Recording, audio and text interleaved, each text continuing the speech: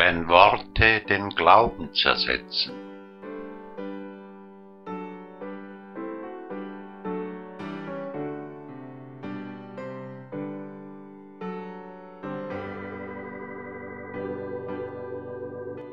Gott sprach, kümmere dich nicht um mich, du hast andere Sorgen. Als ich damals aus der Kirche schlich, bin ich zum ersten Mal gestorben. Die Nacht brach über mir zusammen. Ich schlief auf der Stelle ein. Jahrhunderte, Jahrtausende zerrannen.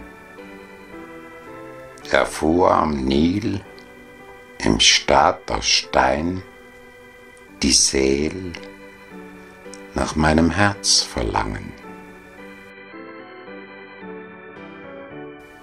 Wie lange blieb ich dort? Vielleicht nur für Sekunden, hab mich in Binsen und Gefilden rumgetrieben, Unzeit zu sehen, zeitlos zu gehen, ohne Stunden, zu verstehen. Sah Wasseruhren, Strohhalme, Schatten, Obelisken, Zeichen und das erste Wort. Merke dir, es kommt aus mir.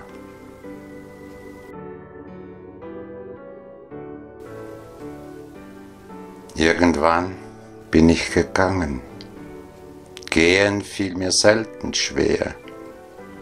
Niemand brauchte zu verlangen, geh, ich ertrage dich nicht mehr.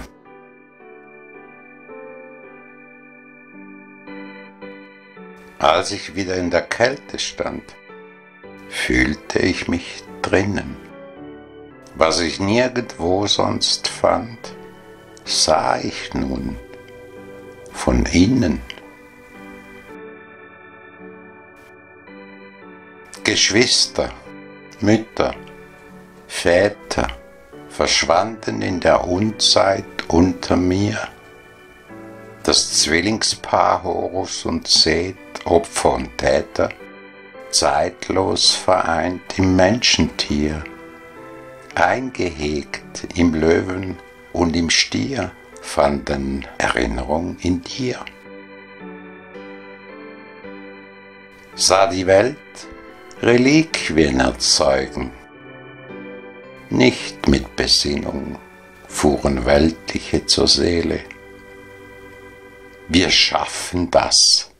Mit eitlem Leugnen gebar der Wunsch nur mehr Befehle. Sie verschacherten die Psyche Räubern, die vor Monstern niederkauern nach der Schlacht der frommen Sprüche und der Flüche Jungfrauen fordern und bedauern. Dafür würden sie belohnt mit 72 Jungfern, einem Jahr der Präzession, falls hienieden wie gewohnt Köpfe rollen, Steine fliegen, Blut fließt, und das nackte Grauen über ihnen thront, eben dort, wo Gott sonst wohnt.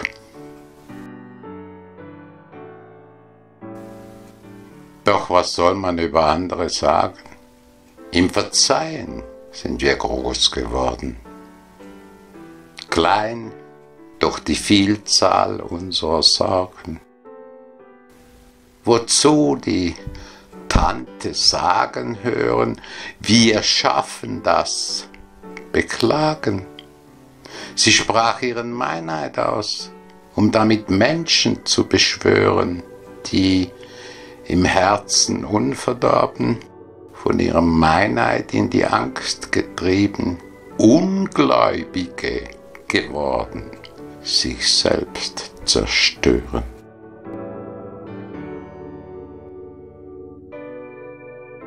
Als Merkel Mohammed erschien, hielt er auch sie für einen Engel. Angela hieß damals viel. Sie denkt nun umgekehrt an seinen Schwengel, und was daraus geworden wär, hätte der böse Bengel nicht nur ihren Kopf geschwängert, sondern sie so ungefähr zur vierten Frau gekürt und zur Kanzlerin erhoben, die schon damals ungerührt ihr eigenes Volk betrogen und belogen in den Unglauben geführt.